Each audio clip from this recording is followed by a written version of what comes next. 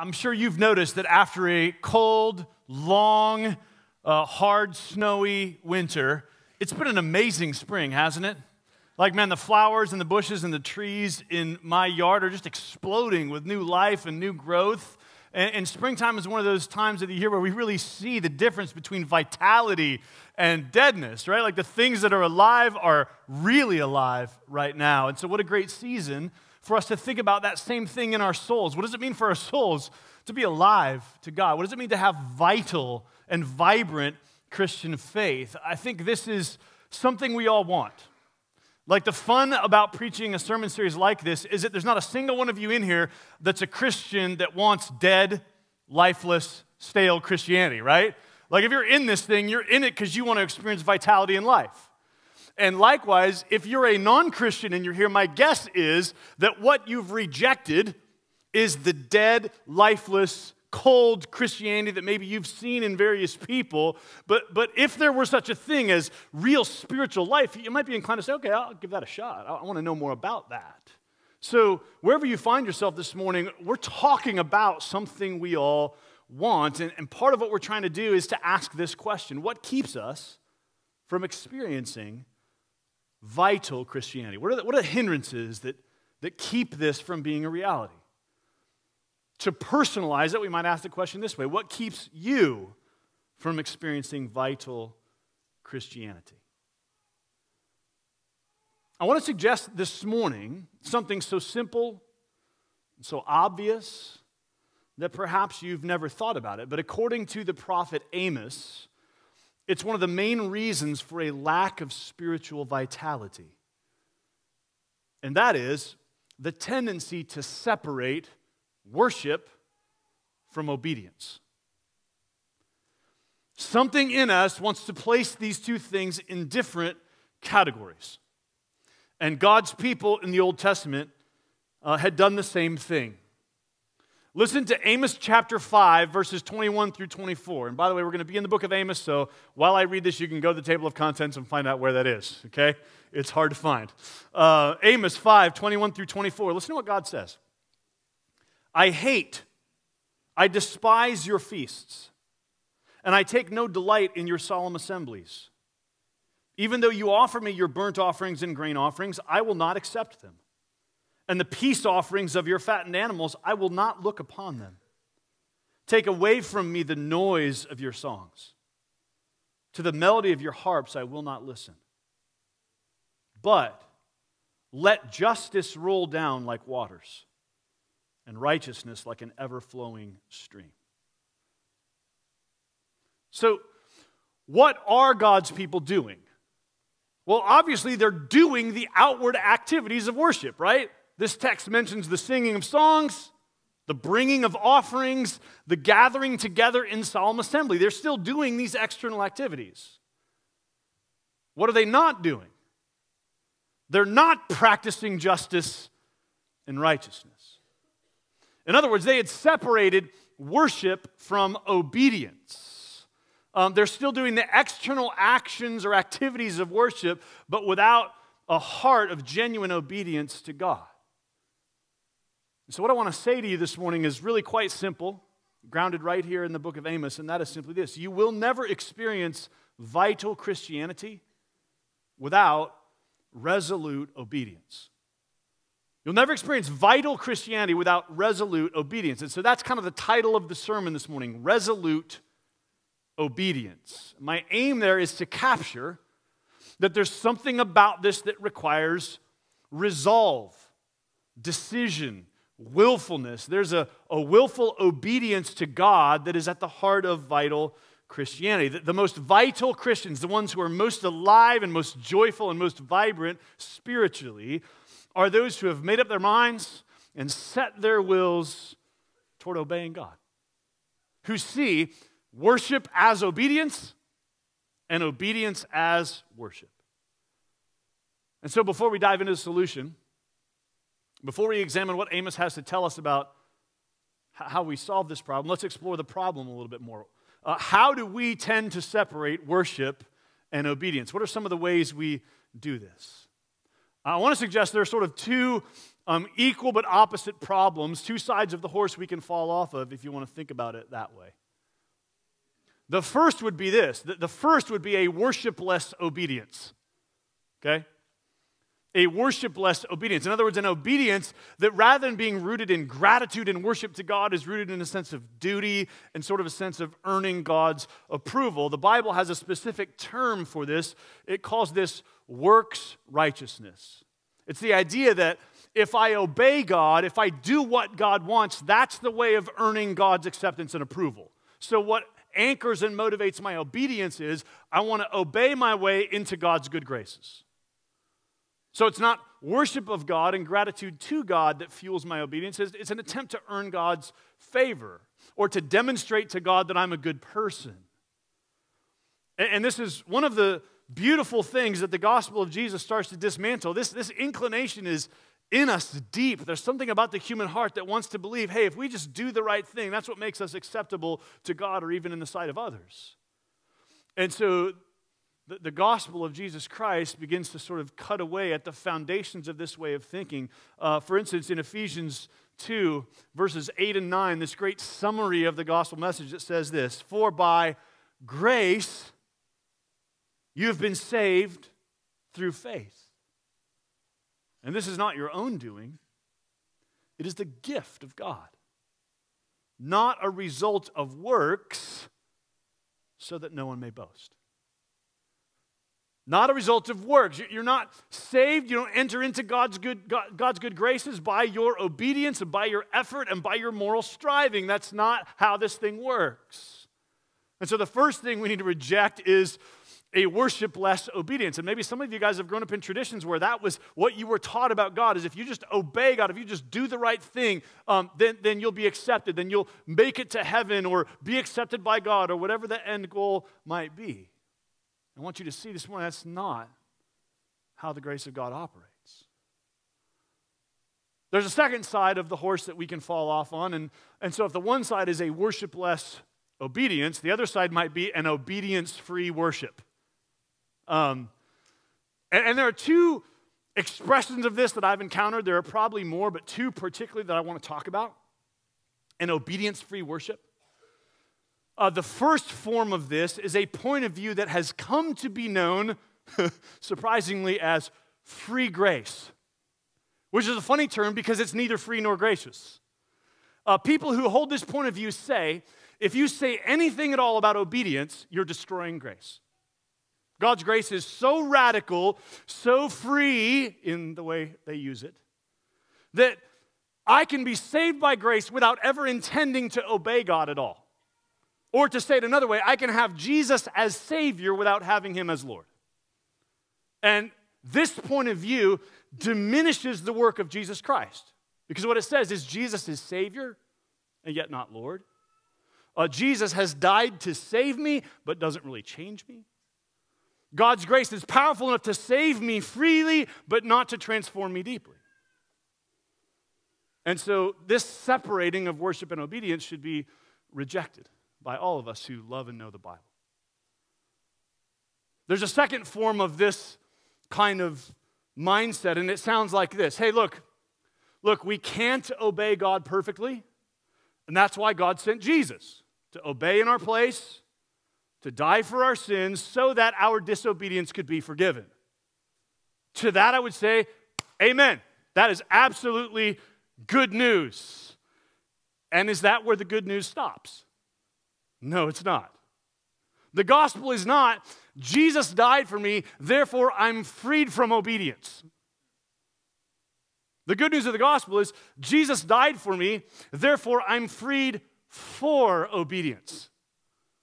Uh, the gospel is not just that Jesus died for sinners to forgive us, but also that he rose from the dead he ascended to the right hand of the Father. He now reigns as king over the entire universe. He's called us into his kingdom as his joyful and obedient subjects, and he's sent his Holy Spirit so that we can die to sin and live to righteousness, so that we can have power to actually live differently.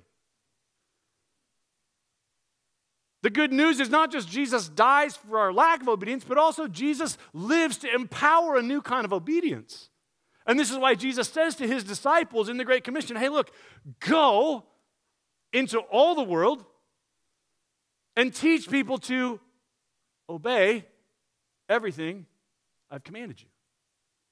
He says, baptize them in the name of the Father, Son, and the Holy Spirit. Bring them into this relationship with God that's made possible through the Son by the Spirit, and teach them to do what I say.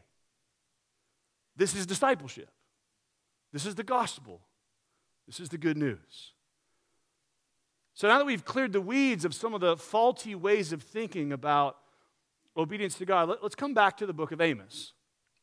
We've said that, that our fundamental problem is to separate worship from obedience. That this is not a new problem, this is what God's people were doing in the days of Amos.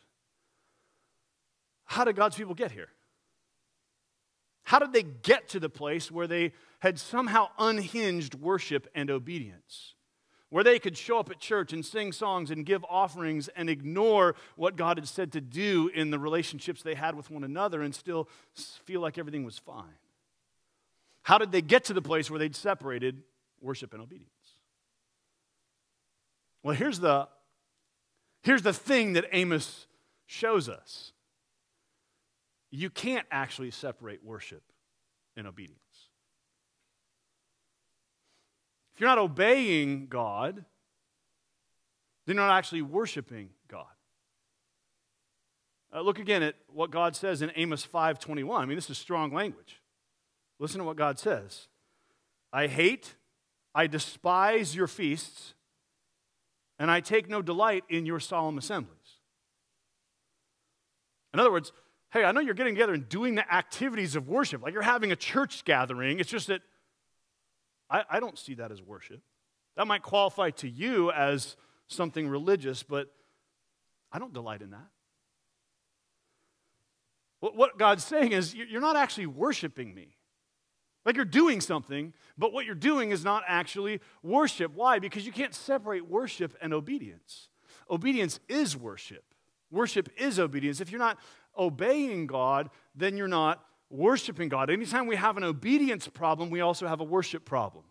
There's no way we can be worshiping God with our whole heart, soul, mind, and strength and not loving our neighbor as ourselves or obeying God in the world. So, so Amos is trying to hold this up and show us hey, anytime we think that we can separate worship from obedience, we're, we're fooling ourselves. That's not how the kingdom of God works. And Amos is showing us that this kind of hypocrisy can be very subtle. Um, we can think we're worshiping God, we can be coming together and doing the things, even as we pursue disobedience, even as we have no intention of actually obeying God. And, and look, God's people didn't just arrive at this place in a moment, it happened over years. It happens by a slow erosion, not a quick process.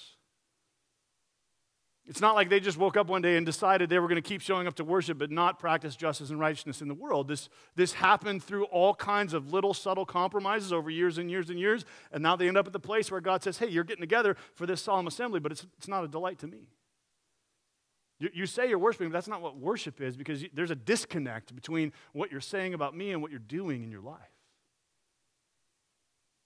Let me give you a little illustration of how this can happen. Let me try to pull this from the book of Amos into the modern day, all right?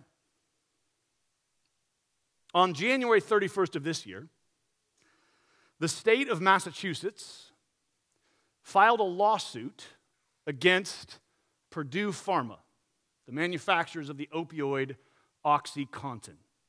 If you've been paying attention to the news, you've probably heard about this going on in the world around us. Over the past decade, 11,000 people have died from opioid overdoses in the state of Massachusetts alone. And another 100,000, catch that number, another 100,000 have experienced overdoses that are not fatal. And the state of Massachusetts alleges that Purdue Pharma bears some of the blame for that epidemic.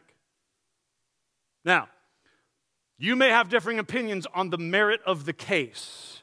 That's not what I'm here to argue about. What I want to do is I want you to listen as I read from the legal brief filed with the Superior Court of Massachusetts that describes the behavior that led to this lawsuit. Listen, here's what the legal brief says when Purdue Pharma identified a particular doctor as a profitable target, Purdue reps visited the doctor frequently, often weekly, sometimes almost every day.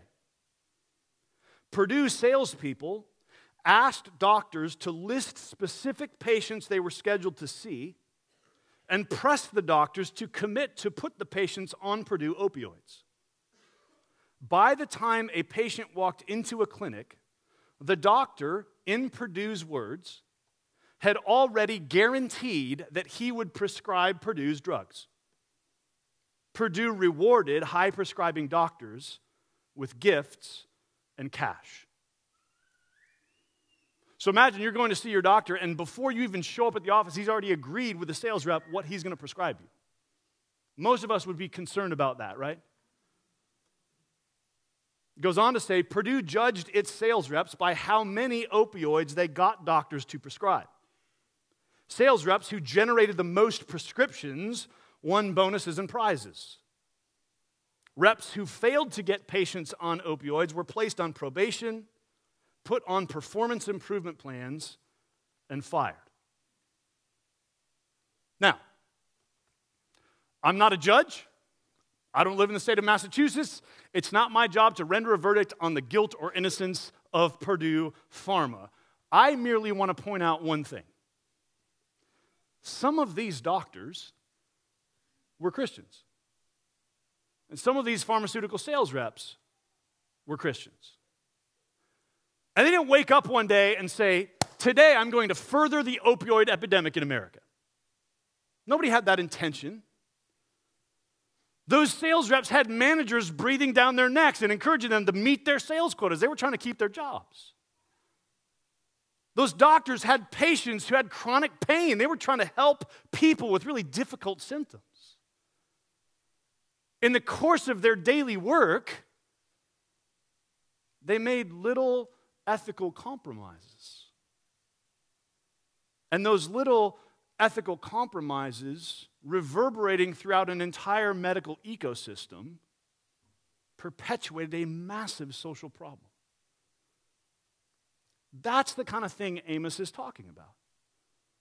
No one sets out to exploit the poor and further injustice in the world. It's just what happens when we don't resolutely obey God.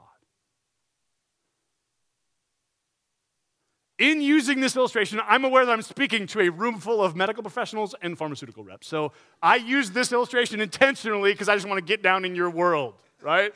I could have talked about something that was unrelated to our congregation, but you know, I want to be a little more fun than that.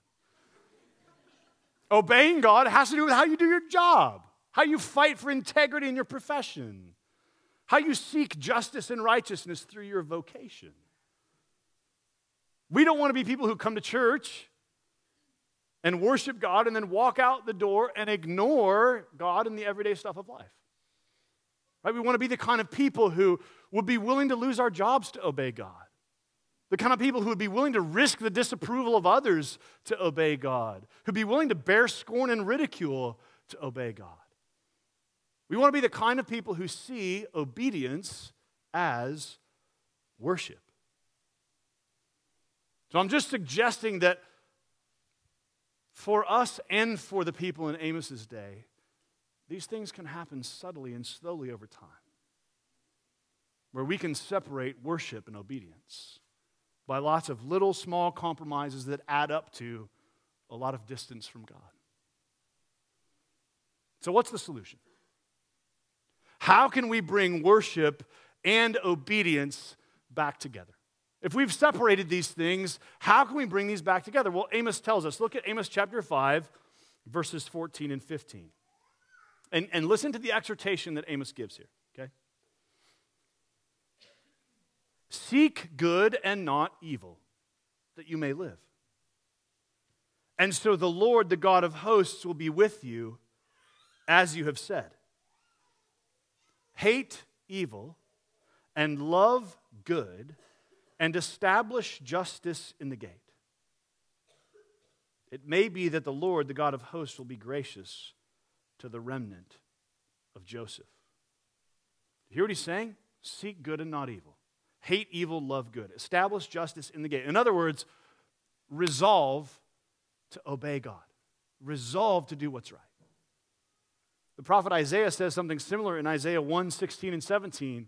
Isaiah says, Cease to do evil, learn to do good, seek justice, correct oppression, bring justice to the fatherless, plead the widow's cause. Notice all the action words in that little section of Scripture.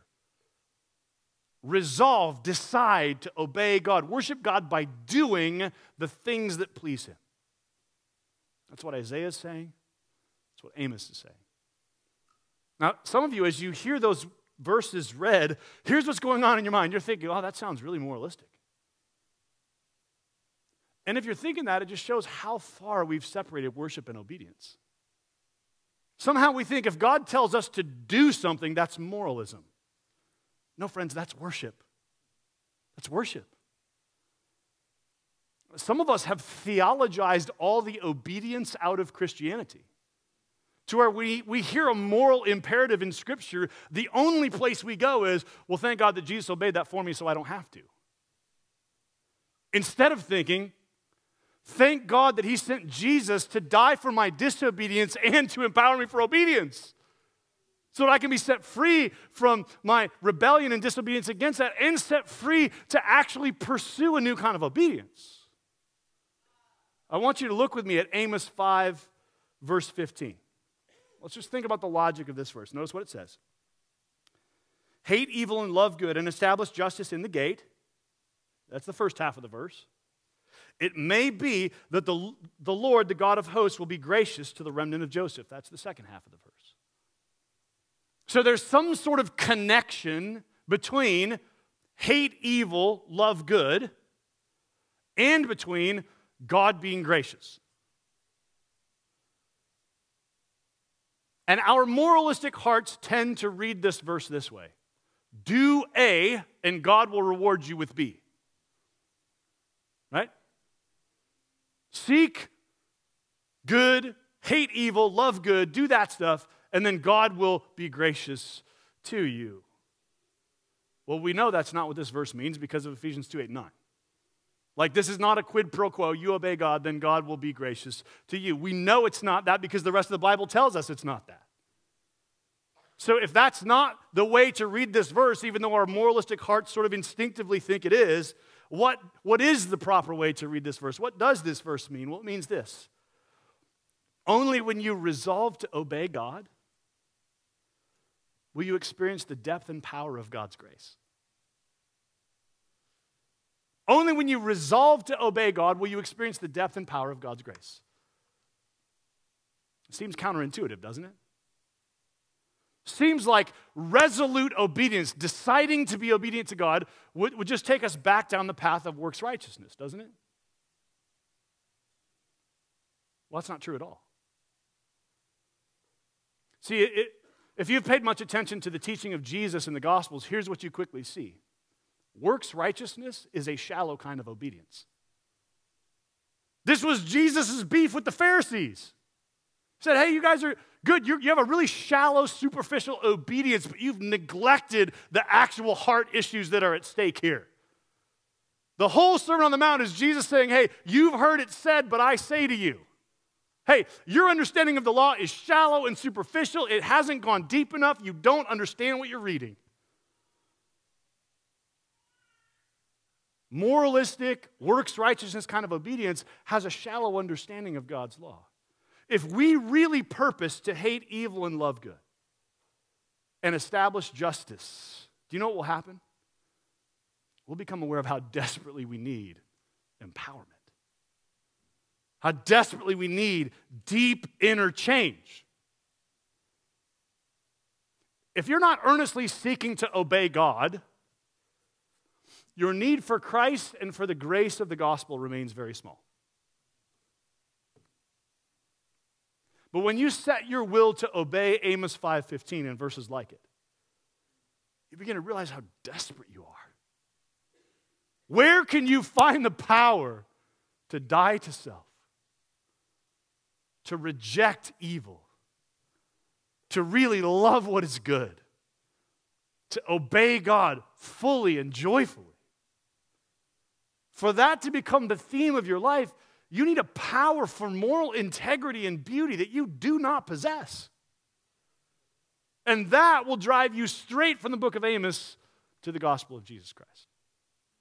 Because the good news of the gospel, as I've already said, is that Jesus Christ has died and risen from the dead in order to gift his people the power for moral beauty, the power for wholehearted obedience. That power comes from the Holy Spirit.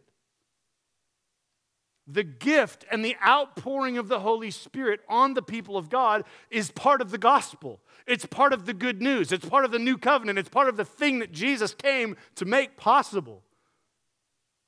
Because Jesus has come, there's a new power available for obedience, and that power only belongs to those who trust in Jesus. That power, the presence, and influence of the Holy Spirit is available to all who trust in Christ. And only when we seek to resolutely obey God do we really feel our need for the Holy Spirit. And therefore, only when we seek to really obey God do we really experience the depth of the gospel.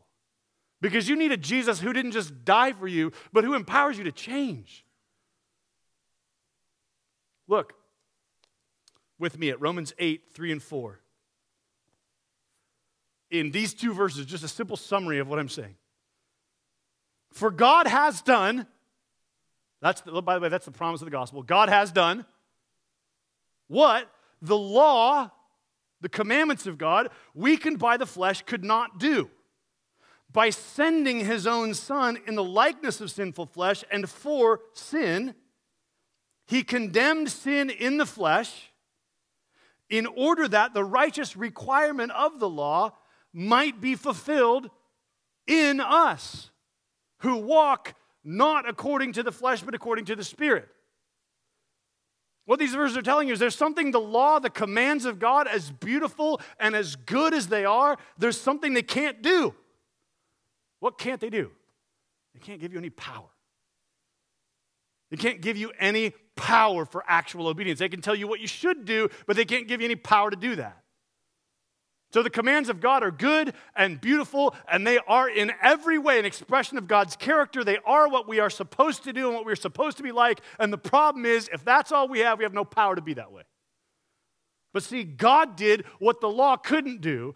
What did He do? He sent His Son, Jesus Christ, in the flesh as an offering for sin to fulfill the requirement of the law in us by giving us the Spirit so that we can walk according to the Spirit and not according to the flesh. To say it another way, friends, vital Christianity is Holy Spirit Christianity.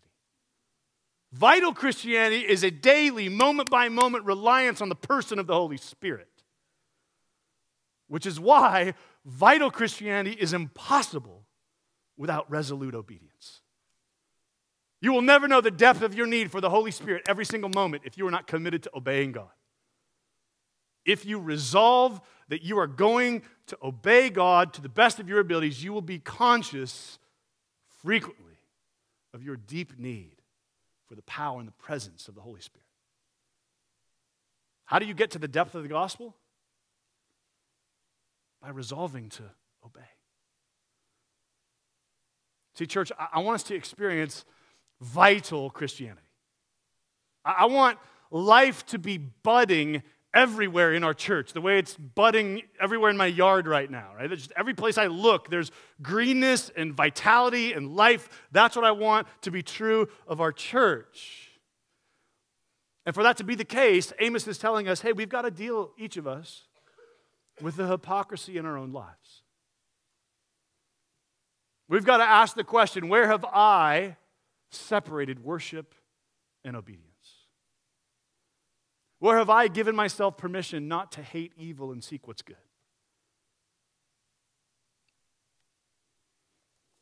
Listen again to, to the weight of these words in Amos 5:23. Take away from me the noise of your songs. To the melody of your harps I will not listen. We're about to stand up and sing some songs to God as an expression of our love for Him.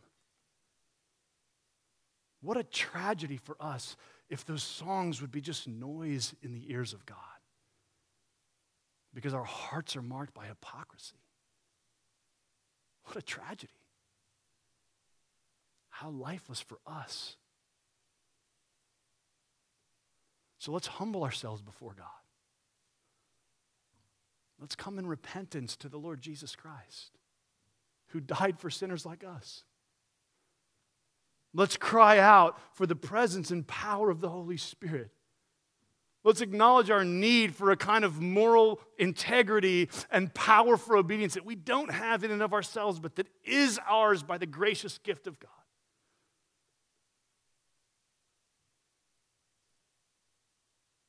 Let's be the kind of people who long for vital Christianity in our own lives first, and then for everyone around us as well. Would you pray with me?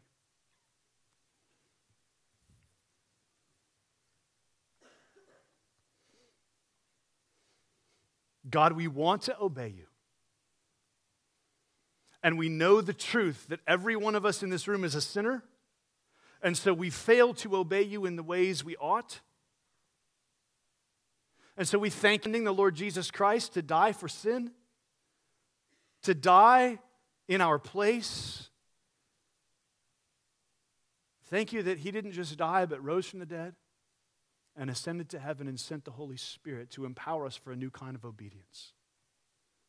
So, Father, as we hear these provocative words from Amos about the need for real integrity, the need for real moral beauty in our lives, would you help us not to be weighed down with guilt and shame, but instead help us be moved to turn to Jesus in repentance and faith and to experience a fresh sense of dependence on the Holy Spirit? Thank you that you do not say these things to weigh us down, but rather to pull us into the kind of life you mean for us to live, the kind of life that brings us the most joy and brings you the most glory. So, God, wherever in our lives there's hypocrisy and half heartedness and spiritual deadness, convict us this morning. Bring us to life, awaken repentance and faith and new hope in who you are and in the beauty of what you promise us in and through the Holy Spirit.